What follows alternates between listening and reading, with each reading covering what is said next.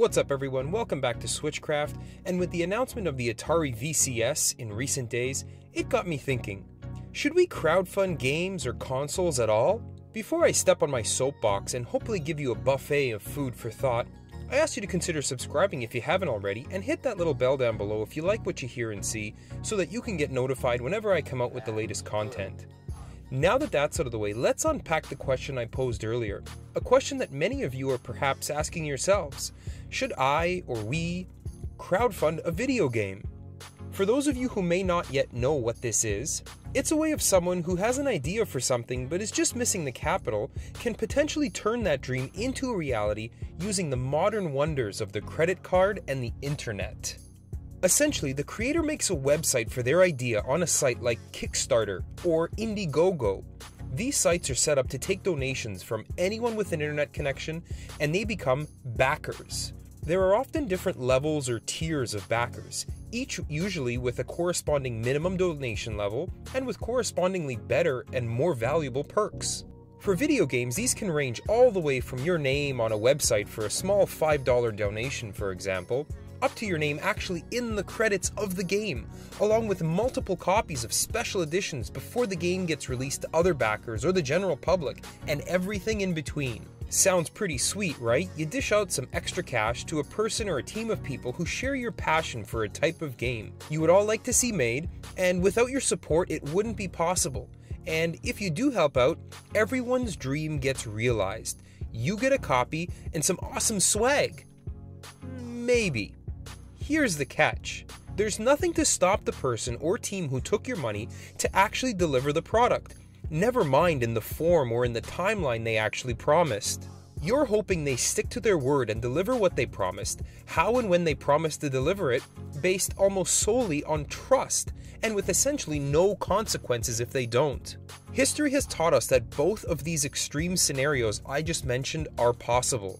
Fans, or backers, have seen their wildest dreams come true with truly spectacular crowd-funded games like Darkest Dungeon, Hyperlight Drifter, and Divinity Original Sin.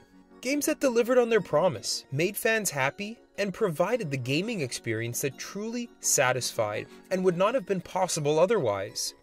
For each of these titles, though, there are multiple examples of games whose timeline of development essentially mirror that of the worst case scenario I described earlier. One specific case I'm going to describe today was recently in gaming news, and for all the wrong reasons. In 2016, Nightdive Studios began a Kickstarter to bring the RPG System Shock back to life. This crowdfunding campaign began in 2016 and raised a whopping $1.35 million on a budget of $900,000. Nightdive Studios even had a preliminary demo to whet the appetite of hungry gamers. It looked like smooth sailing. This is where things began to take a turn though. A couple of months after the fundraising ended, the studio delayed the release for the game from December of 2017 to spring of 2018, and just a few days ago it was delayed again. Indefinitely. What? The studio's CEO, Stephen Kick, let backers know on the Kickstarter website that there was an underlying problem, and I quote, We were too successful. Maybe we lost our focus. The vision began to change. We moved from a remaster to a completely new game. What? This isn't what fans asked for. This isn't what fans paid for. Most think that if they did what they said they were going to do to get people's money, they would not have this problem. Stephen Kick has gone on to say, I put the team on a hiatus while we reassess our path so we can return to our vision. We are taking a break, but not ending the project. Translated, this means we raised more money than we could have ever imagined. Couldn't control ourselves, acted like little children in a candy store, spent our entire allowance on so much candy that we not only gave ourselves a stomachache, but full blown type 2 diabetes. But don't worry, we're not dead we're going to figure out how to come back and deliver what we originally promised. But to be honest, we're probably going to need an advance on our next few months' allowance. Sorry. As crazy as this may sound, this is not illegal. There are essentially no consequences, and we don't even have any way of knowing what they actually spent $1.35 million on. And there's nothing anyone can really do about it. And this is Kickstarter we're talking about. The traditionally viewed safer crowdfunding option that actually has prerequisites like a proof of concept.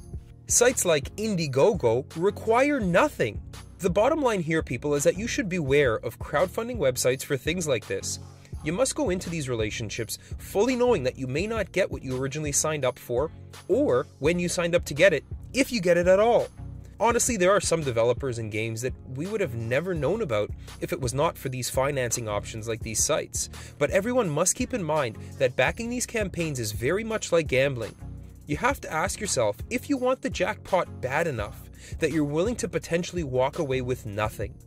Thanks for taking the time to check out this video, and if you've made it to the end, let me know down in the comments below if you have ever backed a video game Kickstarter. If so, what were the results? Be sure to follow me on Twitter at CraftSwitch, and I'll see y'all next time. Switch Kraft out.